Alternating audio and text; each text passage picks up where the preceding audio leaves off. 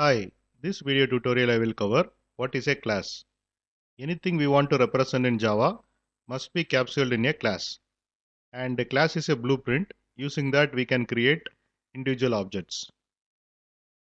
And uh, here you can see class girl.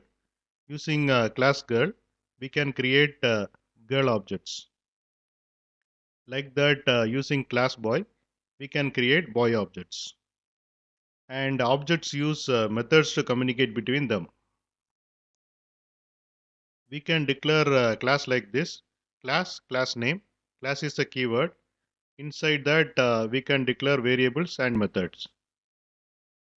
And before class keyword, we can uh, specify the access modifiers like uh, public or private, etc.